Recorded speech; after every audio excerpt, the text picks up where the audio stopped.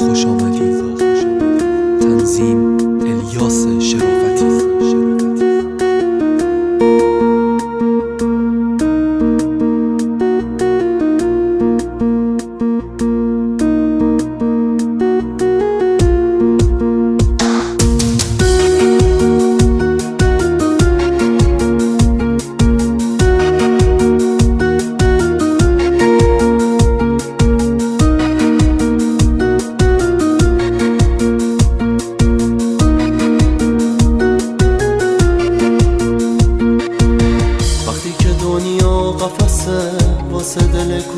کوچیک من وقتی همه بی کسیاش همش میشه نصیب من.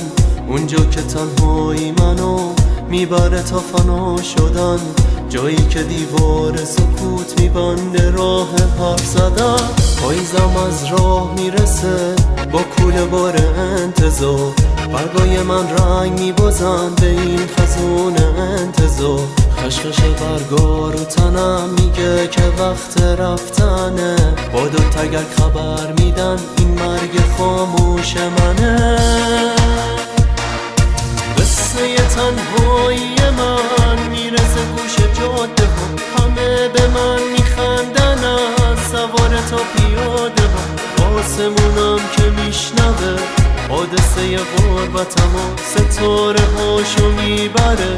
می‌کنه تاریک شبم و انگوش نمای تنه غریبه ها میشم و بس. یه آشنا نمی‌بینم تو این هوای بی تو جاده در به دری بی هم سفر راهی میشم. آخر مرز بی کسی رفیق تنهایی میشم.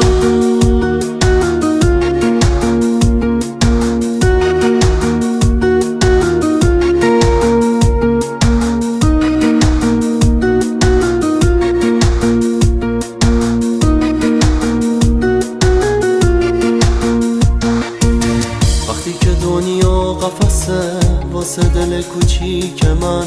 وقتی همه بی کسیاش همش میشه نصیب من. اونجا که تنهایی منو می‌بره تا فنا شدن. جایی که دیوار سکوت میبنده راه حرف زدن. پاییزم از راه می‌رسه با کوله بار انتظار. برگای من رنگ میبازن به این خزون انتظار.